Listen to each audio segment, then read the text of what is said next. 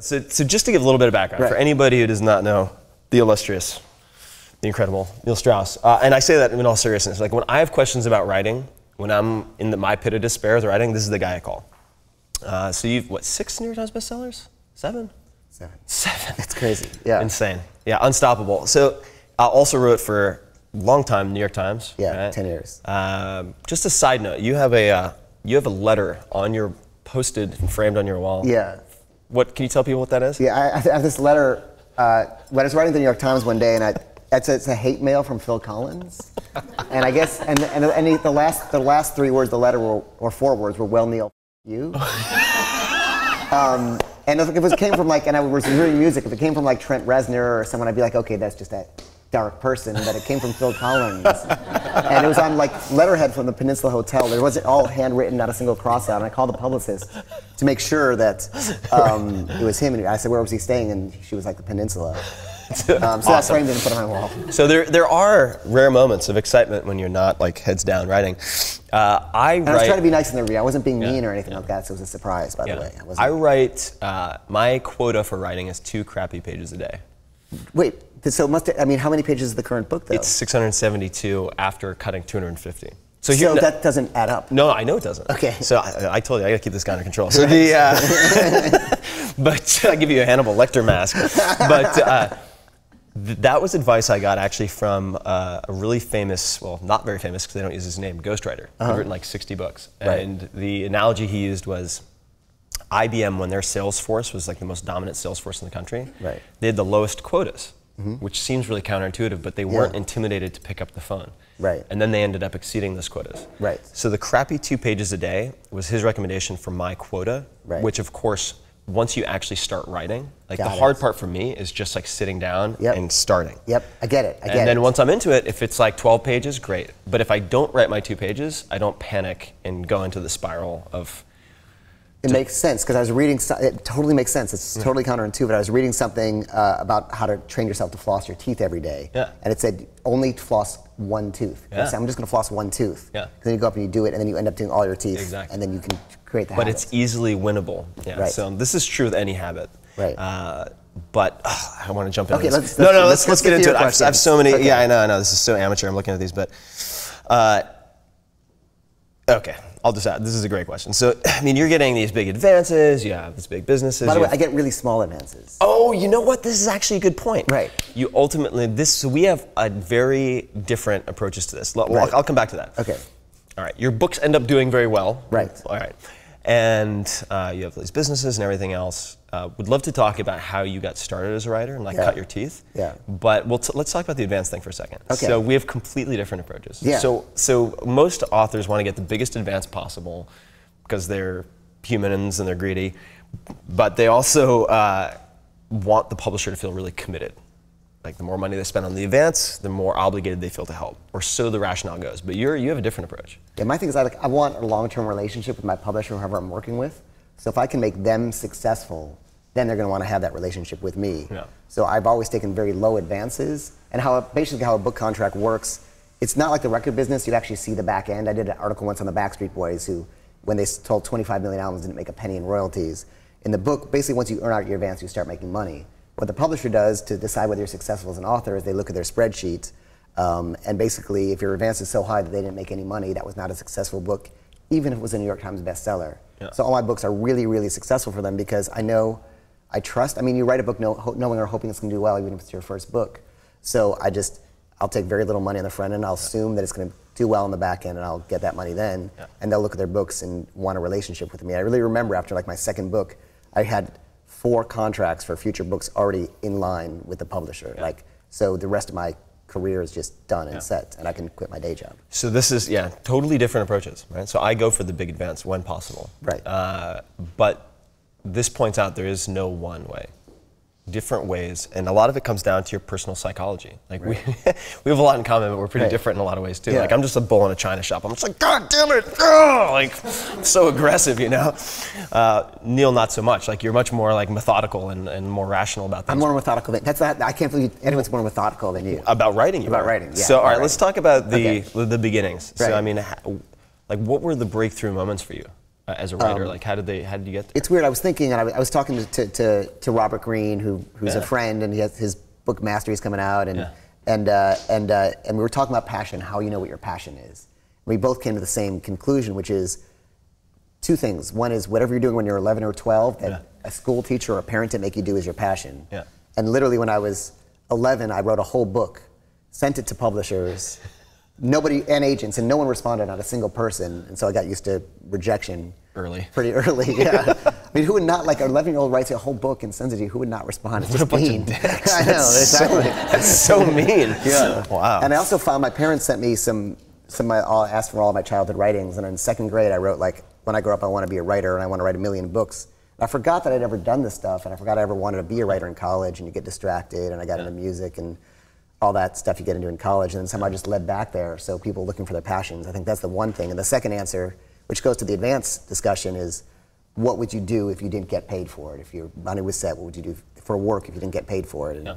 You know, I would write some books I don't even make money on because I spend so much money, as you probably know yourself, Oh, yeah, yeah. I mean- researching them. And I bought a second citizenship for one of them. Yes, for oh, another, to yes, emergency. country. Yeah. Uh, I have an anecdote about emergency that's pretty funny. Um, Neil will. n- I've known how long we known each other? Years and years now. Yeah. Neil will not tell me what his new books are about. No. He's Yeah. so damn paranoid about it. He'll not tell me anything about his new books until it's like Yeah. almost going to publication. Yeah. But uh, I remember uh, you you wanted me to to we well. When you were doing the drafts for emergency, and I was Right. like, "What is this?" You wouldn't tell me anything, so I was like, "Let me take some stabs in the dark, see if I can make him panic." So I was like, "No, no, no, what is it? Some five flag stuff?" Yeah, You remember it that? freaked me out. because it was like all about. multiple citizenships, and all of a sudden he's like, yeah. And What it's you- really obscure. Yeah, it's super obscure. Yeah. And so you you would FedEx, I think it was FedEx, Yeah. printed sections of the book. You would never send me the whole thing for me to review. Wouldn't send me anything. It was it was it was And great. I have this Hey, secret thing I'll do on books, um, which is uh, which is I'll do the draft and I'll say I'll draft I'll handwrite a draft I'll say nine slash eleven for the date, and then I'll code for each day I'll do 9, 12, 9, 13 for a different person, and then on page I'll do that on the cover so I know whose it is. Then on page 11 because you got to be careful with like, you know, with, with and then on that page I'll put a little mark on that page so I have a little code of if it ever leaks out there. It's like the Da Vinci Code, the Strauss yeah. Code. yeah. um, but, uh, but and the reason, by the way, I don't talk about it is because ideas are, you know, we know they're memes, memes. and Yeah, yeah. ideas are No, no. I totally get it. I I know totally you talk to one person, and psychologically they did studies, and people forget the sources of their information. Yeah, yeah, yeah. So you can read something in the New York Times Yeah. or the National I don't actually disagree with that. Yeah. I'm just I, I've become a little less stringent, but Right. No, no, because you told people what your book was like almost like oh, two weeks after yeah, yeah. before our body came so, out. I know we're bouncing around a little bit, but this Right. is all very related. So part of the reason that I announce books early Right. is I, I will I will use my audience to help determine what I should do. So I see what they guess. Right. I'm going to focus on. And this is another thing we differ on. So I want to Yeah. hear what you do, and I'll tell you what I do. So, all right, the, the first, so how do you decide what to write? Right. Uh, I never thought I was going to be a writer ever, so I didn't have the 11, 12 year old thing. Right. Uh, but I always, I had a number of teachers really heavily influence me, and so I thought, well, maybe, maybe someday I'll, I'll be a teacher. I really, like early on, I was like, well, maybe like By the way, what, what were you doing at 11 or 12? Were you like doing like little comic book penciler. I thought I was going to be a comic book penciler. Wow. And I was actually an illustrator for two years. Not many people know this. Right. Like I, I paid for like my expenses and stuff in the first few years of college by uh, being the head graphics editor of the Princeton Tiger. So I did all the illustration. I also did some illustrations for a few uh, Princeton University books, and then bouncing. What a shitty job. Uh, but uh, nobody li- nobody likes bouncers. Um, but the, the, the, point being, you know, I wanted to, I thought I might come back and teach. And it just ended up like this accidental career of, of writing ended up being the, the tool for that. But Yeah. I do not ask my readers what they want and then write that book. But I will pick and I will cherry pick little bits and pieces. Uh, but I think ultimately Steve Jobs said this, Henry Ford said it. Like people don't really know what they want. Right. Do you know what I mean? Yep, I So agree. it's like, what do you want? I want a faster horse, not a Model Right. T.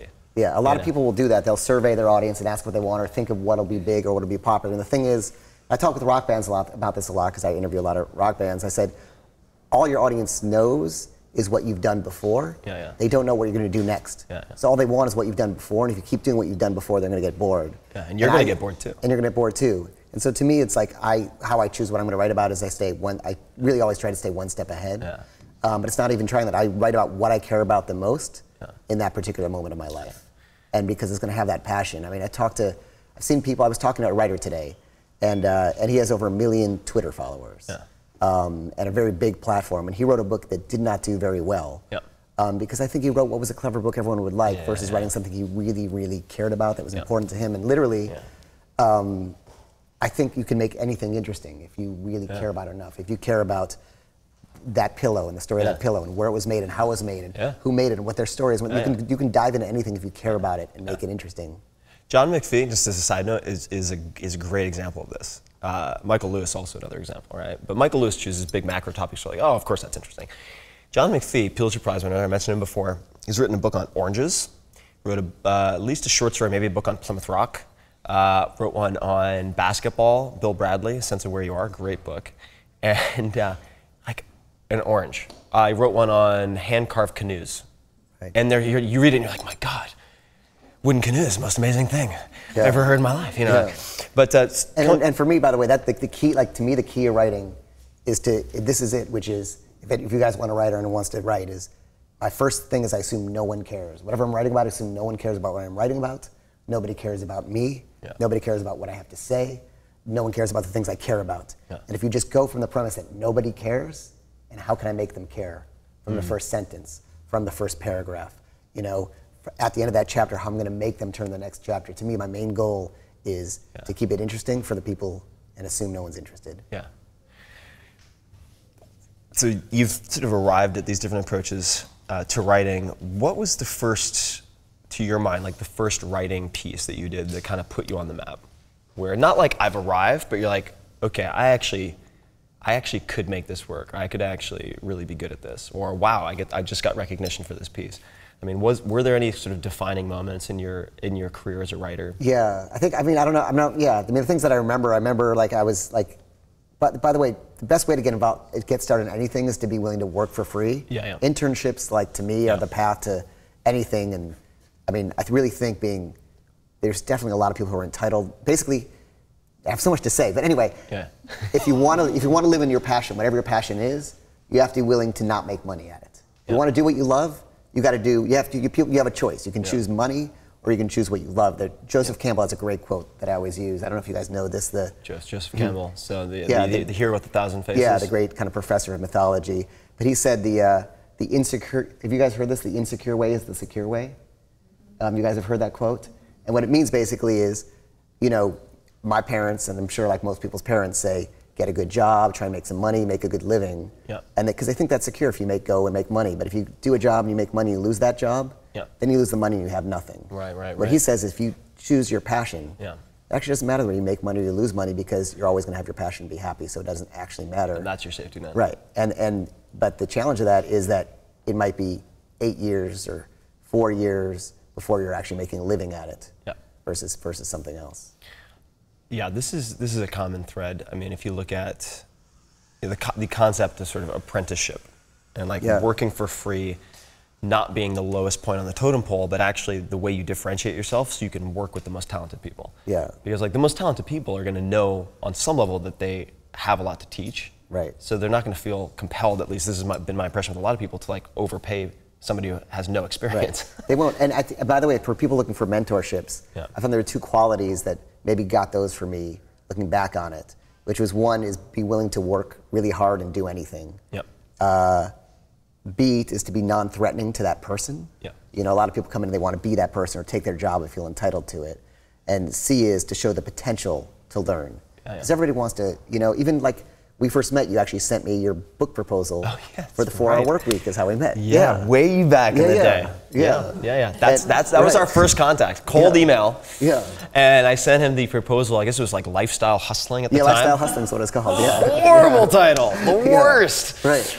Oh my god! And like I mocked up a cover and the back cover, and like it was pretty funny. But uh, the point being, I sent it, and you actually responded. You, he responded, and it was something like, "Yeah, great idea. Like." Keep going, or something. It was like super, super short, super short. And then I was like, "Oh my God, Neil Strauss responded!" Like, "Oh, like we're gonna be pen pals." And then I responded nothing. Like, radio silence, radio silence, Yeah. until we reconnected like years later Yeah. at a at a dinner in Los Yeah. Angeles. We ended up like sitting at the same table, and I was like, "You may not remember this, Right. but like it really meant a lot, meant a lot to me, you know." Yeah. And um, In any case, And so like being coachable though. right. um, Yeah, it's being, it's being coachable and trainable and showing the potential be better. But, uh, but you were asking that first piece. So anyway, I was interning at the Village Voice and spent like maybe nine months opening mail and all that other stuff and fact checking and copy editing.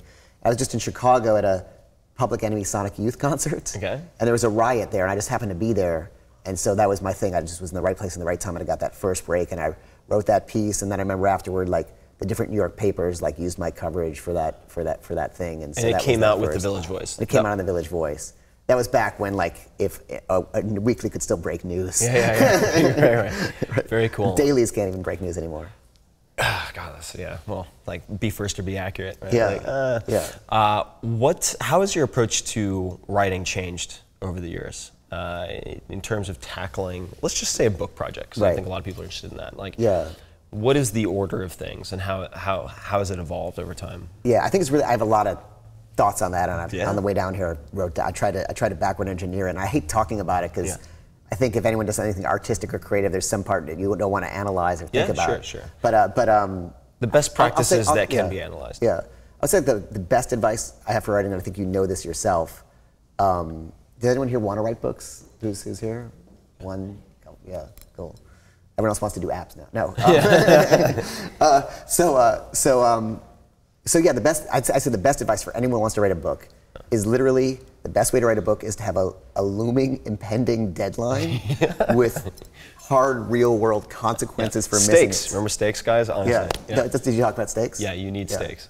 Like stakes. To I talked about it with the diet paleo diet or, or Yeah. S-T-A-K-E-S. Oh yeah, steaks. This is yeah, not stakes. Steaks like vampire steaks, Yeah. but uh, for consequences. Yeah. Yeah, and I, and I think that um, and I know Something that a media coach said to me recently. They're like, you got to when you say steaks and you have a book called The Four Hour Chef, they're gonna think you're talking about steaks. exactly. I was like, ah. But uh, but I think if you if you can't do it, you manufacture it. You talk about stickK.com and Yeah, yeah. and things like that. But I really know that that literally, you know, Tim's always Tim will be calling and I'll be calling Tim saying, I got to get this in. I got like three months. I can't do. But if literally if we didn't have those deadlines, you wouldn't have written three books in never this happen. amount of time. Yeah, it would never happen. Yeah. So so you have to. Uh, so I'll do that if a friend of mine wants to write a book, I'll, and they want me to proofread or take a look at it. I'll say I'll take a look at it, but what date are you going to get it done by? Because I'm going to hold you to it, and they'll say January. I said if it's not done by the end of March, Yep. I'm not going to read your book at all, no matter what. Yeah. So I'll give consequences and deadlines to my friends. So it's a good way to write is to really, if, if you don't have a publisher or a deal or something like that, to find some real consequences that's externally imposed. And I would also just say for people who are like, ah, I'm not a writer, I, I still don't really consider myself a good writer. This guy's a good writer. I don't consider myself a good writer. Uh, but the process of writing is the fastest way, in my experience, to improve your thinking. So Because true. writing is thinking on paper. And it's pretty tough to like improve your thinking in real time. so you put it on paper though. I remember uh, when I did my first writing assignment for, for John McPhee's class, and he, he handed our writing assignments back. And he said to everyone, he's like, look, you guys are all good writers. I don't want you guys to panic. And we're like, well, we got it back. And there was more red ink than black ink that we put down, which is like, what is this? That's great. And he was so methodical, like at cutting out fillers, colorful nonsense that didn't add anything. That's the other secret is having a good editor. I think it's hard with the with the with the blog world, and you're Yeah. writing your own blog. You don't have an editor, so you're doing a lot of writing. Yeah. But to me, I learned by having you know you learn by having an editors, and, and again, if you're not writing somewhere where there's an editor, you can have a, a, you know friends read your stuff. But that, doing that feedback and internalizing that. Yep. Yeah. It's super important. What happened is that my grades in every other class improved in lockstep with my as my how my writing got tighter, which was really cool. So even if you don't plan on being a writer, it's really good training for just becoming a better thinker. Uh, Yeah, I literally I don't I don't know what my conclusion is of a book Yeah. or what my perspective or my thought on it is actually until I sit down to write it and have to organize those ideas. yeah. Yeah. I don't write my introduction or the conclusion until towards the end of a book. Oh, really? Yeah, I don't do my introduction because I feel like it'll lock me in stone. Right. And you and I both do something similar where I don't I don't assume that I have a lot of great ideas I can expound upon and make interesting. So what what uh, when people ask me like, well, who are your role models? Like, uh, and they have their guesses on who they might be, and I always bring up George Plimpton, like the, like the one of the first sort of experiential journalists who uh, Paris Review, and he would go like be an amateur boxer and fight Sonny Liston, and then write about it, or go you know be a quarterback for an NFL team, get his ass kicked, and then write about it. And I think the riot is a good example of that. Like, Right. go out and find or do interesting things to provide yourself a context for writing. Yeah.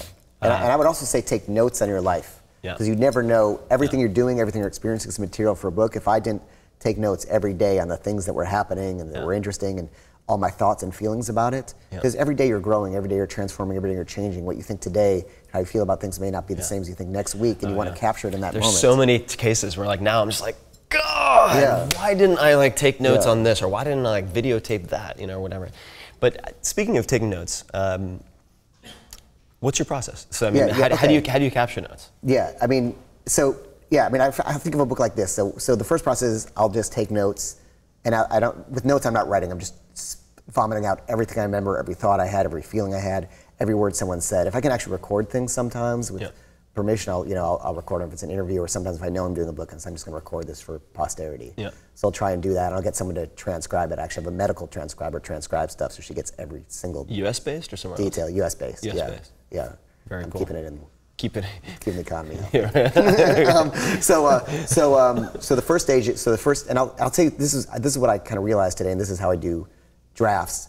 Is so, got all my notes. Yeah.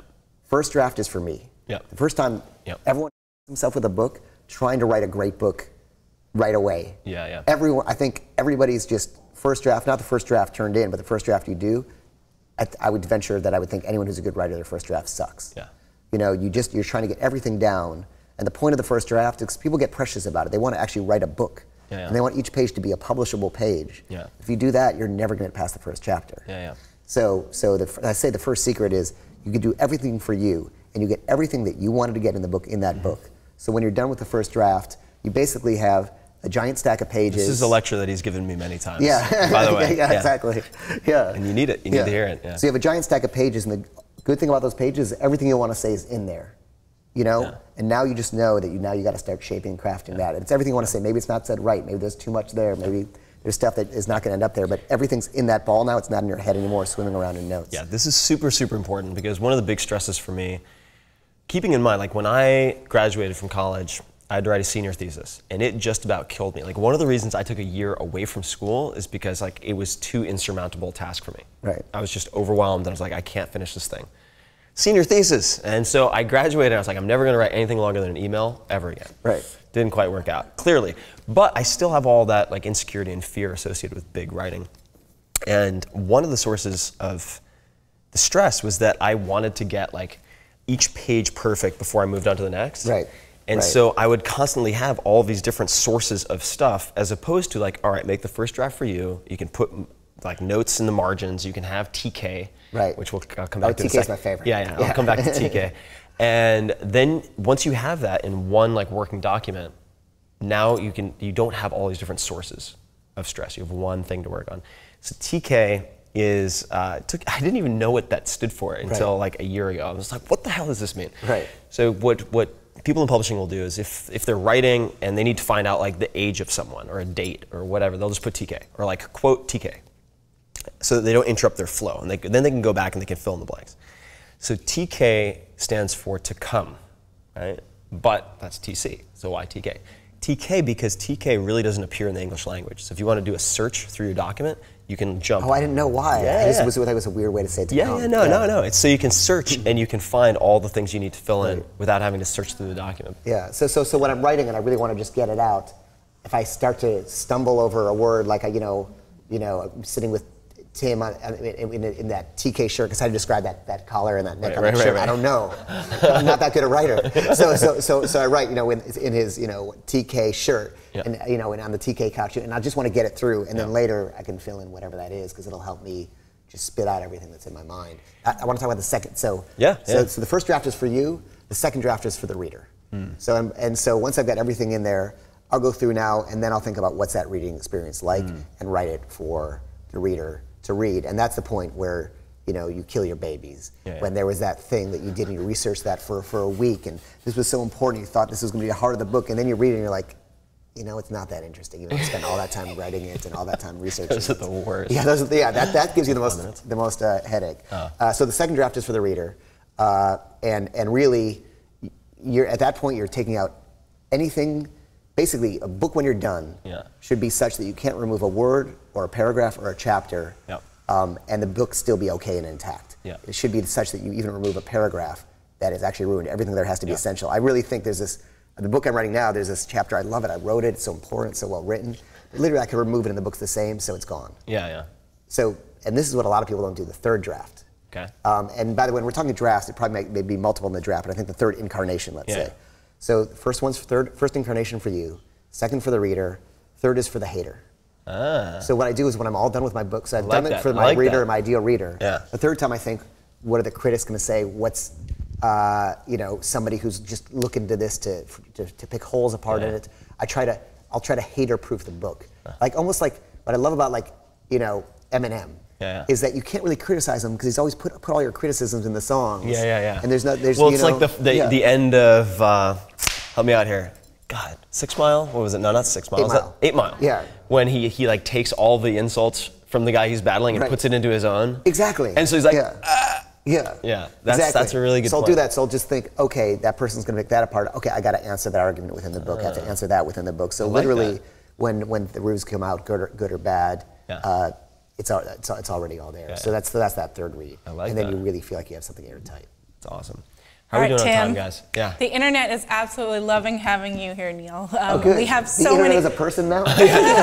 Mr. Internet has questions for you. the internet. We represent the internet. Okay. Um, and but we have so we have a number of questions, but we're going to start in our studio audience Okay. Yeah. with with Amanda. and you represent the internet. And what, what do you represent?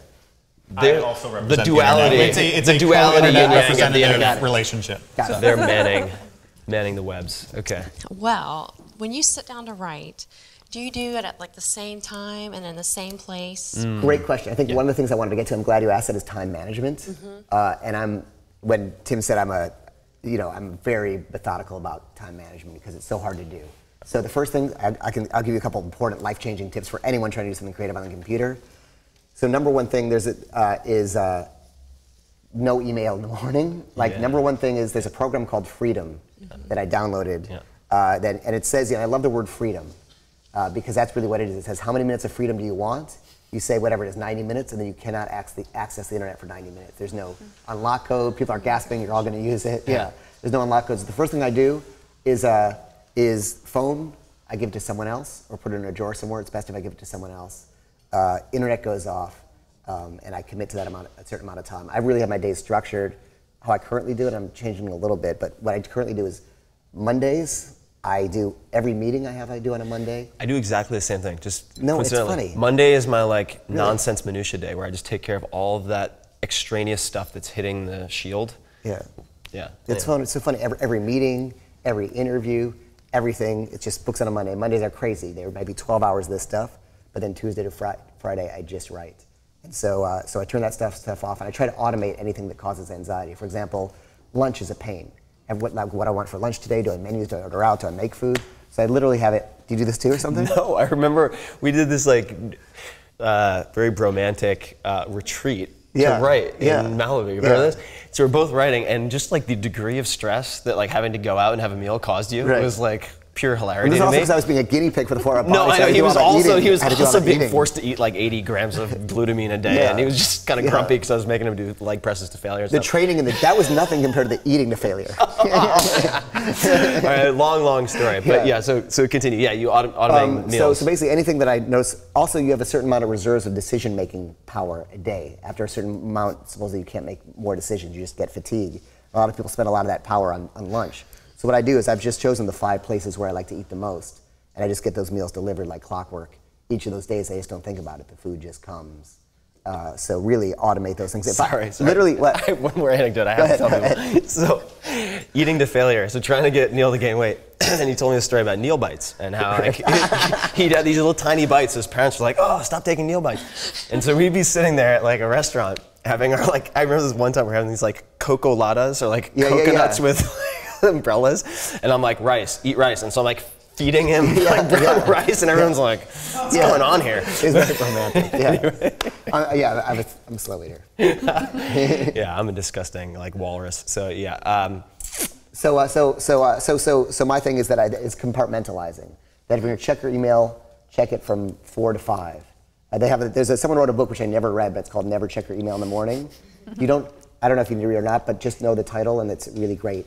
Okay. It- it- it's, it's great advice. The thing is, with time, is to become proactive about time instead of reactive. Because I know so many people, you can't do anything because you're getting, uh, you know, a message on Facebook, and then you're getting a, um, you know, an email, and then you're just reacting to that because it feels like you're getting something done. At the end of the day, you got nothing done. Yeah. So I, what my thing is, I'm really, and everyone knows that I'm proactive about that to, to the degree that, um, uh, by the way, I have Facebook and Twitter blocked on my computer. Yep. Uh, what I did is I downloaded Intego Content, uh, I think is it Content barrier, whatever it is.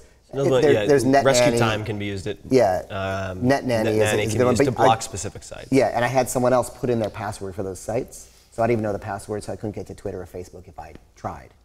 Um, so finding those things that are those, are those and putting walls between you and them or limiting them in certain ways. There's one other thing I was going to say was, um, oh, which is friends can be a pain in the ass if you're trying to be creative. and if you have more than seven friends and everyone wants to see you one day a week, what do you do? Yeah. So another thing I want to say is that I do a, a Wednesday night dinner party. Yeah. So if my friends want to see me, I'm like, great, Wednesday. If someone wants a meeting who I'm not sure about, Wednesday night. So Wednesday night, we, uh, we all go to a restaurant uh, and, and basically whoever I want to see or catch up on, I'll, I'll see them there. And then maybe afterward, I'll break off with my closer friends. But that way, I can see everyone, people who I want to meet with, but I don't want to really take the time for a lunch or meeting one on one. I just bring them there. If I like them, I talk to them a bunch. If I don't, I put them far away. So You I, know, do, I do yeah. the same thing actually, uh, but I do it on Fridays. Oh, that's so funny. So I'll do like a Friday kind of happy hour thing.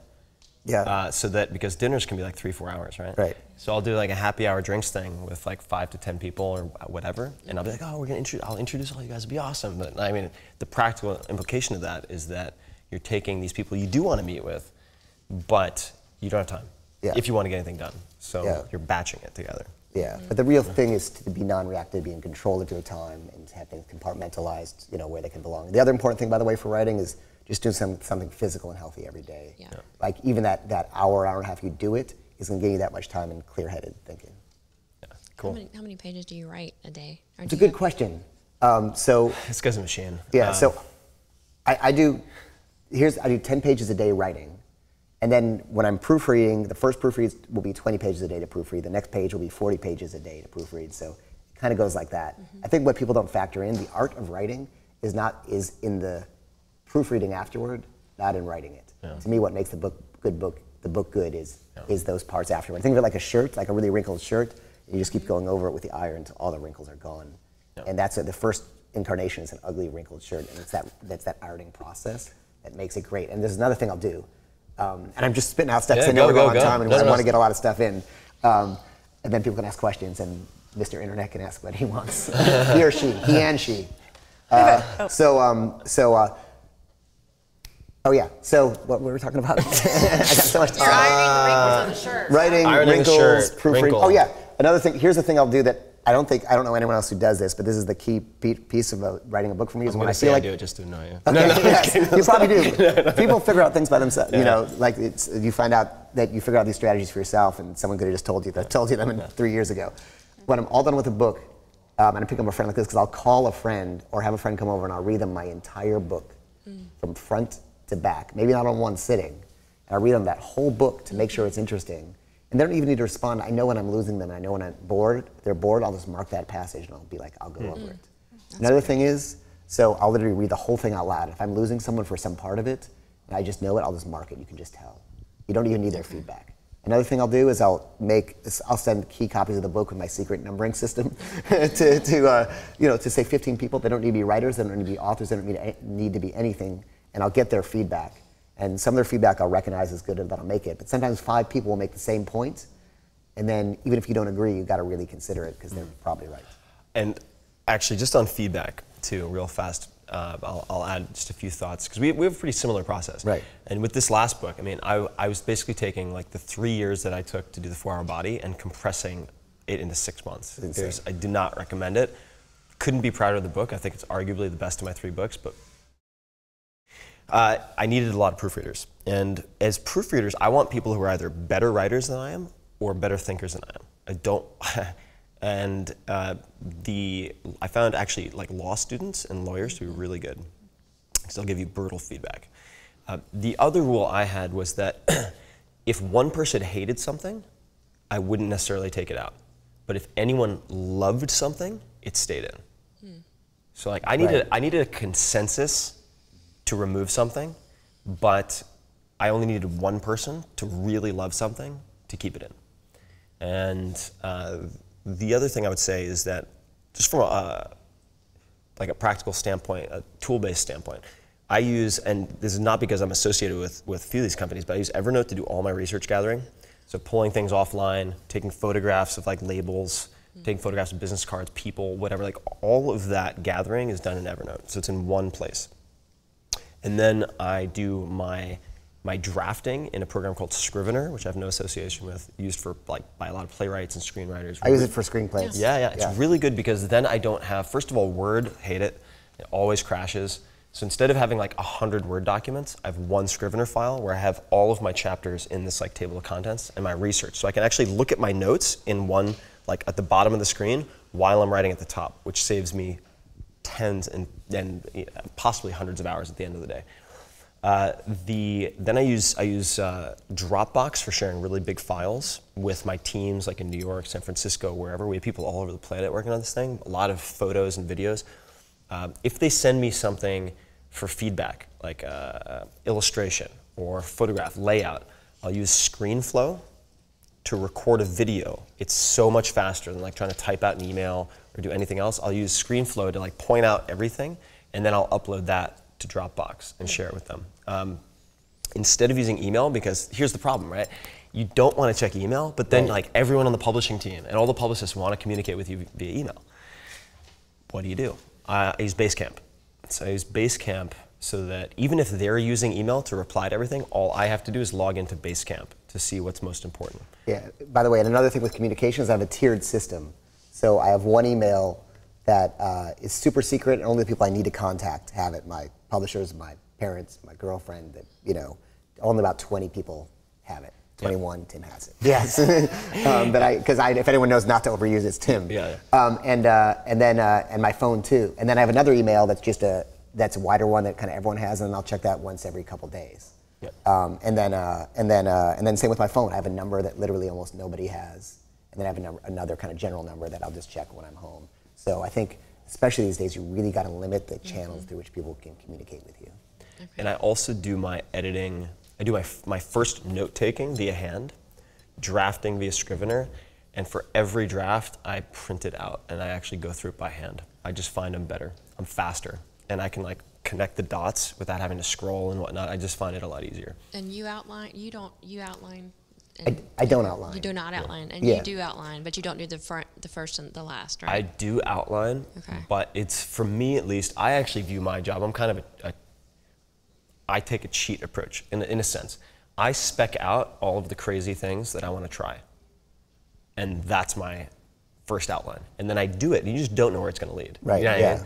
you have no idea, and that's part of the fun. Because ultimately, my opinion is, if the book is not at least fun to research, it's not going to be fun to read. Like if you hate every step of the process and you're like, but you know the market says this should be really popular and the timing's right, people are going to hate it. Yeah. And, and the thing and the thing about writing and interruptions is I read that if someone interrupts you for, in work, anything you're doing, it takes 20 minutes to get back Yeah. to where you were. Yeah, yeah. And especially there's that, that flow process when you're mm-hmm. writing. Yeah. I think it's really important to not have interruptions get in flow because it might take three hours of staring at the computer, Yeah, no, just exactly. doing nothing, typing whatever, and then you hit that flow, and that's when you do good writing. Sometimes you're just putting words down, other times you're really writing and you're like, connected there, and you just don't know when or where it's going to happen. You got to just create that space. Because The you get interrupted you when you're in flow, you're, muse. you're That's screwed. That's why I do all my interruptible stuff during the day, interviews, research, online, blah blah blah, and I do my synthesis, my writing, starting at like 10 p.m. when people are less likely to interrupt me. It's like a lot of writers I know get their like writing done from like 10 p.m. to 8 a.m. Now what I mean by that is they either start late, stay up really late, which is what I do, go to bed like 5 a.m.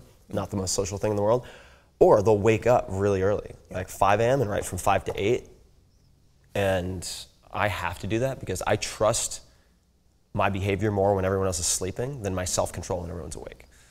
Um, So speaking of interrupting, Yes. uh, Yeah, yeah, I know. Speaking- That was like one question. But you get two writers talking about writing, and you're the- not I know, gonna, know. Yeah. So uh, we've got oh, only like three or four minutes left. Uh, Okay. So we'll take a quick We'll do a question. speed round of fast We'll take a quick question from, from the internet because we are the voice of the internet. We will edit Um, ourselves later. yeah. And then I think Corey has a question here in the back. So Okay. let's go ahead and go. Um, Selenart is saying, when writing, do you visualize one person or type of person as your reader? Um, I, yeah, I, I I guess I guess the quick answer is uh, is uh, yeah. I mean, in that second, the first time again, it's for me, and I don't I don't visualize the reader at all because it's going to you. And the and the second thing is that, that reader is somebody who's a bored person, not interested. Usually, I'll sometimes I'll picture my parents. So I actually totally opposite approach. I do write for very specific people. Right. So I'll write the book that like you know I'm good friends with let's say Kevin Rose, or like I'll think of like Neil, or like Ryan Holiday, say, and like I will ask myself like would this pass muster for these people, and I try to write the book that I would want to read. Also, like, is this filling a gap where I would want to buy this book? If so, I just assume there are going to be people who have some similarities to me. Maybe it's age, maybe it's living in San Francisco, whatever, who will also buy the book. yeah, that's true. I'll write the book for me. That's really true. That's that's so right on. I'll write the book that I want to read. Yeah. Or I will. Yeah. Or the book and the, or the book I need. Yeah. Yeah. Right. Cool. All right. Right. Corey, did you have a question? Um, So one of the things I really love about both of you guys is that when you're going after a new task or a new skill, and this applies to writing and beyond, um, you fully immerse yourself in the research material. You know, uh, Neil in the game, you know, you start researching Brando and Streetcar Named Desire and uh, Mickey Rourke in that uh, movie from the '80s. I forget what it's called. Uh, Everything. It was. I mean, there you could. everything, right? everything. Yeah, yeah. Books everything, and then uh, you as well with your research material with, for the chefs. I'm sure you studied a lot of chefs and, and beyond. Um, how do you filter out, you know, good material from bad material to study? Because right now, more than ever, we live in a time where there's just so much information. How do you select, as uh, Tim says, the 20% of material that'll give you the 80% of results for your writing or for skill acquisition? It's so true. There, There's a form of procrastination called perfect preparing, and you spend so much time preparing and gathering data, it's, it becomes a form of procrastination after a while. So again, the simple answer is probably exactly what Tim said. Is and by the way, so the, so the gentleman talking, Corey, showed me earlier like a book he had Yeah. of the things he wanted to do in his life, and one was meet Tim Ferriss, which he did. The other one was have a drink with Neil Strauss, and I'm not going to be around tonight, but I had them grab a beer. here, Nice. so we could we could have that drink together. Nice. that is awesome. That's great. All right. That is Yeah. fantastic. So, oh, and you have a drink with both of us. You, you can, you can, yeah. Right, all you yeah. need is uh, Megan Fox here, and you've done your whole book. That's crazy. Oh, this is great. so, uh, yeah, I think you got one of the keys is knowing when you're done, when you've got enough, and also only going to the best stuff. Yeah. And for me, uh, the 80 20 analysis is done. Uh, All right, man. Cheers. yeah. Cheers. All right. So, so I only choose things that I am interested in doing. And then, so at least, even if it doesn't make it into the book, it was something fun, something Yeah. worth doing. Like I went down this huge rabbit hole with like DNA testing and like how do I hide my identity and like I did a bunch of DNA tests like as Brad T- Pitt and did all this crazy stuff. Talked to like genetic weapons engineers at like eh, nuts, right? And it was one of those things where it's like, oh, it's so awesome, like Right. how you get like like pre preloaded credit cards at Safeway so no one knows, blah blah blah blah. And at the end it was like not useful for the reader. Right. The cool thing is you got a blog, though. Yeah, By no, the way, this is how you rationalize the things you're going to cut. You're like, I got a blog, Yeah. or you're like, I always say I'll put it in the paperback, and then I never put it in the paperback or the or the digital book. Yeah, exactly. So, and then once you have all those experiences, that's when you cut it down. Mm-hmm. But you have to go out and you have to have them before you know what's actually interesting. Yeah. And, And yeah. but that's like the benefit of I think our approach in so much as we immerse ourselves. It's like we're learning a lot and having fun, even if the book never succeeds. and we're getting it firsthand, and I think that's the key. Is Yeah. I mean, I'll read the third-hand stuff on, or the second-hand stuff on my way to meet the first-hand person on the plane or something. But to me, I'm always getting it firsthand. If I'm doing a book on a subject, I'm going to ask everybody about it. I think this is true for anything you want in life. They talk about the power of intent, but more than that, there's the power of putting it out there. And so anything I'm working on. I'll literally, even though no one knows what I'm writing about, all my conversations are about that. I'm asking everybody. I'm out there surfing. Which I'm makes talking to a me crazy because I'm like, just tell me what your book is about. I'll yeah. even give people like like te- like I'll lead people in the wrong direction. I'll purposely do misinformation and steer them in the wrong direction. Okay, so n- just so he doesn't seem like the only one who's paranoid. So when I did, I think it was the first announcement for the four-hour body. I used a uh, a different title. I called it like the Guide to Becoming Superhuman. Right. And then I put a bunch of fake stuff in there, as red herrings because I knew people would be like squatting on URLs, Right, doing right. all these other Yeah, things. So I didn't want up. people to like grab all of the domains and Twitter handles and everything, which they did, but they had the wrong title. Right. Uh, but I did want to get feedback from. So this is important. Not only do I put it out there because I want feedback from my audience, I put it out there so that I, if people are in my audience, are like the best in the world at that, that they then reach out to me. Yeah. Which is how I connected with Alinea in Chicago. Right. Is Nick Kokonas is one of the co-founders, an amazing, amazing guy. Reached out after I made the announcement about the Four Hour Chef, and he's like, "Hey, if you ever want to come check out Alinea, come Great. check it out." That's awesome. One of the best And restaurants ever. So like, oh yeah. So having people actually reach out to me, but not giving them like the nitty gritty yeah, yeah, details, so they can screw you up. Yeah, or yeah, or rip you off. Especially with the Kindle now, like someone could put a Kindle book out three days later. With uh, and the uh, and the other Which is what they actually right. tried to do. Like it was, oh, it makes me crazy. Yeah. But yeah, you, you have to learn to deal with uh, people squatting on Another stuff. another thing about writing, by the way, don't think about publicity, marketing, title till you're all done. You know, people. That's another way of form of distraction. It's like, how am I going to market this? What's my publicity plan going to be? Just write the freaking book first. yeah. Marketing's very Notice frickin', tantalizing way way, to you know, like people- procrastinate. All right, moving on. So we got an extra five minutes or so. We're going to Okay. move the language segment to right after lunch. No problem. There was a language We just- segment next. How appropriate. yeah. This is true. This Etiquette is and language. Yes, yeah, right. exactly. You can stay for it, Neil. Uh, we have another few questions I'll, from I'll the let you sit down. internet. Let's finish it off. Thanks. Yeah. Okay. Another cheers Cheers, there. man. See you later. Frank Pierce, Neil, Frank Pierce says, how do you stop a writing session? And when you stop, how do you get out of your ultra concentrated state of mind? Oh, how do you stop a writing session? Really? Yes. That's a quality problem. Like Yeah. I will, if I'm in a writing session and it's going, I won't stop You it. won't And even stop. people know who I have plans with. I'm like, if I if I'm in it, Yeah. I might not be there. That's another way. This way secret is don't never commit to plans. Say I've got another engagement, but I will try my hardest to be there. That way, if you don't show up, they expect you not to show. If you show up, you're a hero versus Yeah. being pissed. But anyway, so, the answer is I won't stop it if, if, if I'm going. If I'm I have the same exact policy. Uh, so it takes me, and from what I've seen in Silicon Valley with pro, like really good programmers, or just programmers in general, it takes them like a good hour just to get to the point where they're moving. And if you build up a bunch of momentum, and who knows, you're like just sleep deprived enough, or just drunk enough, or whatever, where it's actually working, you like I don't stop. I will go until I face plant. Like I will like if, if I start at 10 and it's like four in the morning or five, sun's coming up, but it's still going, I'm like, man, this might not come back for me.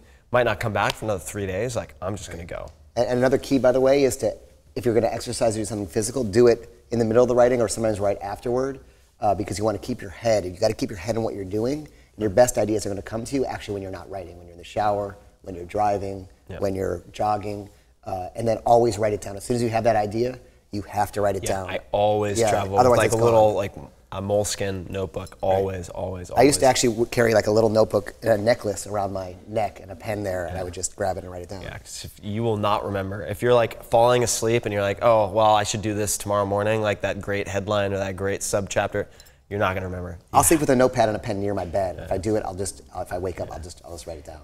Yeah. A uh, couple of resources for writing. I'd love to get your thoughts. Yeah. Um, a couple of books that really helped me on writing well was was really helpful to me way back in the day. Uh, Bird by Bird, I talk about it all the time, but just for like the psychological self-loathing and all that stuff, uh, self-doubt, whatever, which journalists, I feel like trained journalists suffer less from. Um, but I could be wrong about that. Only when you're doing journalism because someone Yeah. else is going to be loathing after they read That- that, versus the ones that that's about you and you're going to be. Yeah, That's no, I think I think as a, when I was journalism, you never think that because really you're on a deadline. You're No, it's like you until 5 p.m. and you're like, Right. okay, well, Yeah. like, yeah, I don't have time for self-loathing. Right. Like- when you're doing, but you're doing a book, you totally doubt it because the book, man, you like, you really pour your heart into it. It's, a whole freaking year. It's you. And no one may read it, and yeah. Yeah, well, it's like when you made your jump from sort of writing about other people Yeah. to writing about yourself. I mean, that was, Yeah. I would imagine psychologically that changes a lot. Yeah, and I really imagine. I just, yeah, it was, yeah. Yeah, it's tough. It's super tough. Okay, cool. Any And other oh, that's by another thing. There's a key that um, um, we're not even asking the questions. We're just answering no, questions go, that don't yeah, yeah. exist. um, but uh, by the way, my resources, what I do when I'm reading is I just try to read great writing.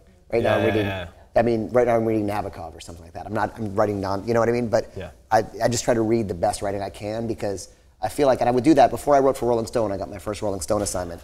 I went and before I sat down to write, I read like five Rolling Stone features just to brainwash myself and try and get in that mode. So I, I actually do the same thing. Uh, if there was a, a long time where I tried to write, I had I, I had writers I thought were incredible, and I would try to emulate them, but their style was too far from mine, right? Um, so again, John McPhee, like coming into the country just makes me want to cry. Like his stuff is so good. I'm like, I could never write like that. Uh, Brigade de Cuisine about cooking. Oh my god, amazing short story. In any case, I cannot be him, right? But stylistically, my voice is actually pretty close to like a Kurt Vonnegut. So I started reading a lot of Kurt Vonnegut.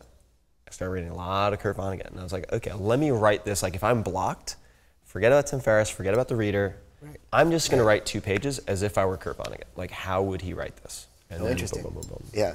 And, And- then it's just a psychological trick to get you into putting words down. But it's funny if I find an author I love, like a fiction writer, I'll, I'll trace it backward. Like if you take Bukowski, then you read John Fante, then you read like Knut Hamsun Hunger or something. They all like they're they're just a hundred. You know, some are 40 years apart, some are 100 years apart, just actually imitating.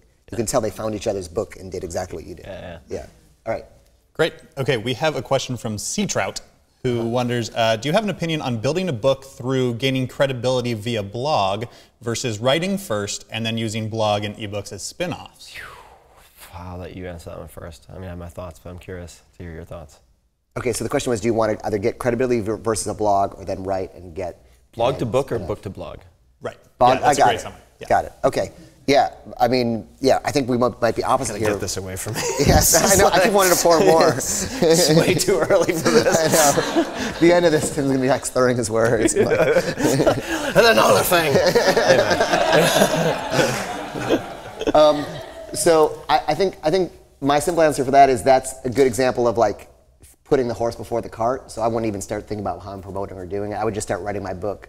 So my thought, if a, if a blog is going to discipline you to get your book written and have those deadlines, then I'd go blog to book. For, for now, I wouldn't think about marketing and promotion. Literally, you can do it on both ends. For me, I like to keep my books a big secret and a big surprise, and I like when my book comes out for it to feel like an event, and and also to maybe break a story. I want my books actually to break a, you know, tell a story that hasn't been told before and break that. So I like to keep that surprise going. But I think some people can use those blogs not for early promotion, but to motivate themselves to get writing done on deadline and get that feedback. Uh, the last thing I'll say on that is, um, it's funny. Here's the thing about publishing for people who want to get published. It, this is kind of depressing. All they really care about now in publishing, get a book deal, is what is the size of your platform. Yeah. Like literally, if you have enough Twitter For, non, followers, for nonfiction. yeah, Yeah. and Facebook followers, um, you know, or you, if you can just prove, if you can prove, and this is kind of what you did in your proposal in a way, Yeah. You know, for your for, for a book, because Yeah. you know, if you can prove that you can sell ten thousand copies of a book, that's it. Yeah, I you'll sell it. You'll sell If you can prove to a publisher that you will sell ten thousand copies, you will probably get Yeah. a book deal. Yeah, and what I just on book selling real fast. Actually, yeah, maybe I guess we haven't really talked too much about this, but it, if you get an A-list agent, you'll sell your book. Uh, so step one, from my perspective, is getting an agent. Not because I can't sell books on my own. I don't want to deal with all the battles that you will always have with any publisher over certain aspects of the end product. I don't want to deal with it. So like Steve, my agent, who's awesome, like went to Harvard Divinity School, raised Mennonite, like plays in a jazz band, really cool guy. Also knows the business because he ran the P&L for a bunch of arms of HarperCollins. which is profit and loss. Yeah, sorry. So if they're like, well, we'd love to, but we can't do this, he's like, really? Like, Right. I know where you print your books. Of course it costs that much. you know? Yeah. So uh, that's just a point on, on agents real fast. And publishersmarketplace.com is where you find a lot of information on that. So blog to book, book to blog. I did book to blog, quite frankly, because I didn't know what the hell a blog was. And I thought because the publisher was going to be doing, wanted to control all these various pieces, the only thing left for me to play with was online. So I was like, guess I should figure out what a blog is. And it started that way. And uh, if I think that blog to book, not from a promotional standpoint, but from a writing standpoint, makes a lot of sense. It, because if you cannot write a blog post a week that's 500 to 750 words, there's no way in hell that you should write a book. No way. And so to just test the waters to find, like, do you actually enjoy writing? on any level, uh, I think the blog is a useful tool. WordPress, just just to give an unsolicited piece of advice, there are plenty of blog platforms as far as like out of the box, SEO friendly, widely adopted, easily supported. WordPress, I think, is the way to go. And uh, full disclosure, I mean, I'm, I'm an advisor to Automattic, the WordPress.com folks. Basically, anything tech Tim says, he's an advisor, has a piece no, of no, no, no. But I used Word. That only happened in the last few months. I've been I've been using WordPress forever. And uh, the blog, a couple of examples that you can look at.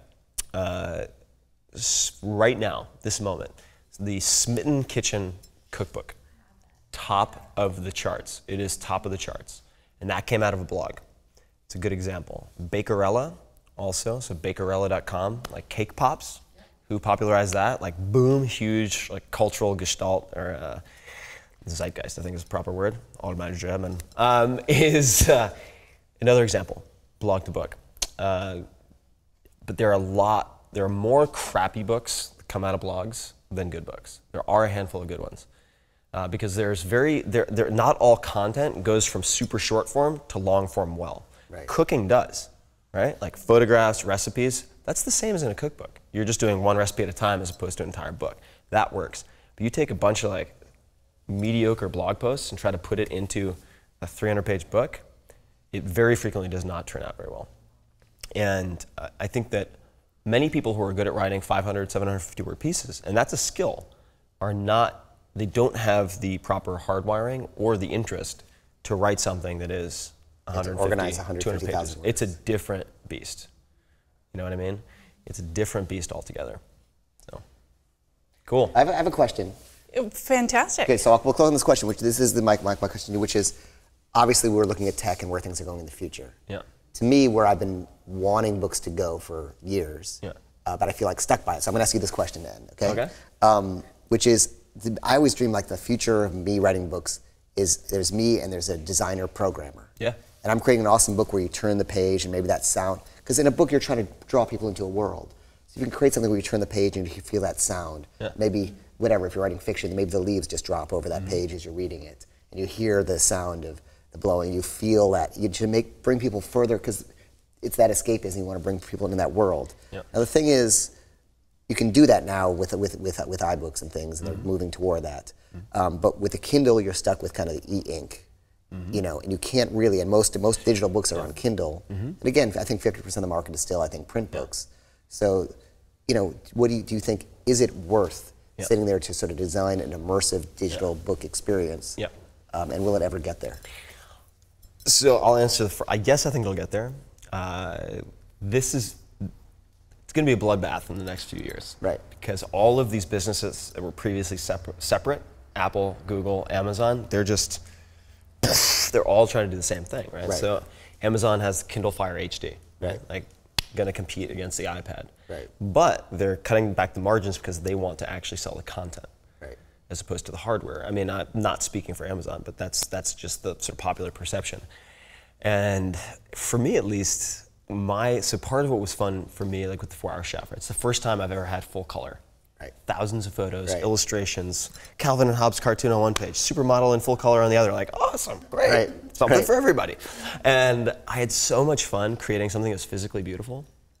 I want to take it another step. Yeah, exactly. I want to have that like world class designer who's not like juggling 20 projects. Right. But, like the world class designer and then the world class like interaction design programmer. Right. Just be like, oh, let's think up something that's never been done. Right. And that's the author now. You'll have that team. Yeah, yeah. That's th- that's my I, dream. I think that there's a very good chance you're going to have like these big publishers and it's just going to splinter into these like publisher creators right.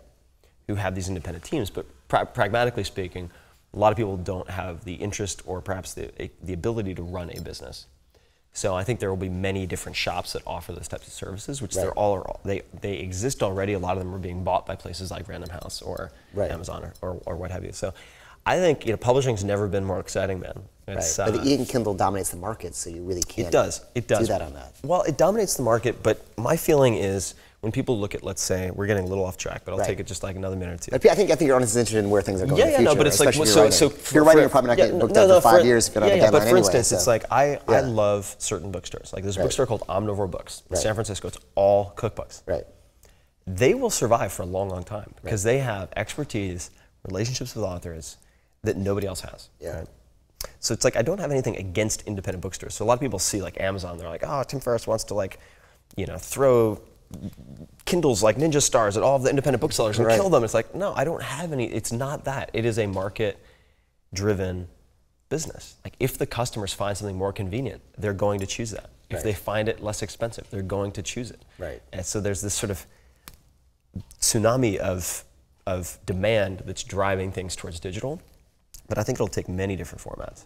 Yeah. And I, I, I don't know where that will go, but I think at the end of the day, more things stay the same than change. Yeah, I agree. So it's I was like- talking to a musician today, and 50% of his sales are still CDs. Yeah, Yeah. yeah. And also, I mean, at the end of the day, it's like you need to be, at least in writing to me, you need to be able to tell a story. Right. Whether it's nonfiction or fiction, you need to be able to tell a story. You can look at, let's say, the Stanford D School has some really interesting free online material for story arcs, things like that. Uh, Joseph Campbell, uh, so who was brought in, by the way, also I think he was brought in by George Lucas himself to help craft the story arc of the first three Star Wars. Uh, if you learn to tell a story, you'll be able to write books, sell more things, create more businesses, have a mating advantage. Yeah. uh, like you, like you need to be able to captivate attention. And, and the truth is this, like, I, here, I'll tell you the last quick thing, and then we'll go. You got the internet is getting mad at me. The internet loves you. We just got to go to break. Okay. go so, for it. Go so for it. uh, um, last last thing is uh, is oh that yeah that, that people a lot of people want to write how-to books, and I and it's interesting. I did the game, and then which was really a story, and then Yeah. rules of the game, which which is the how-to part of it. And the game by far not only sold better, but taught people more. And that the brain, through storytelling, the brain learns through metaphor and through storytelling. A bulleted list of 10 things to do, though we want that because we're really in that quick information time now, does not teach us. It's stories and metaphors that, that teach us. Yeah, a great, just one example of that. Uh, one of my one of my friends, great writer, AJ Jacobs, writes for Esquire, does a lot of these crazy experiments. Also, hysterical guy. I actually, first time I talked to him, he was writing a book called The Year of Living Biblically, which taught me more about religion than any other like serious book I'd ever read. But uh, the How to Outsource Your Life portion, this like 10 page thing in the four hour work week, was from him. He wrote it in Esquire. And at the time, he tells the story in one of his later books. He's like, if I had known, I would have asked for money. He's like, Right. some guy, blah, blah, blah, supplement company. He's like, yeah, whatever, fine, use it. Right. But uh, AJ Jacobs also is a good example of how to teach a lot without seeming like you're teaching a lot Yeah. in a way. Uh, cool. Yeah, so so yeah, I think my last message, because we've been talking a lot about writing, is just do you, you get one shot at life, and when you know, and you you just you have to do what you love and what you care about, what you're passionate about, and we all know plenty of rich people who are miserable. Yep. So it's like just friggin', you know, ask yourself that question now. If there's anything you can get out of this, is what would I be doing if I didn't get paid for it, and do that. If you're good it. enough at it, you'll eventually get paid for it. Love it. All right, Cool. thank you. All That is right. a fabulous All right. place to end, Neil. Thank you so much.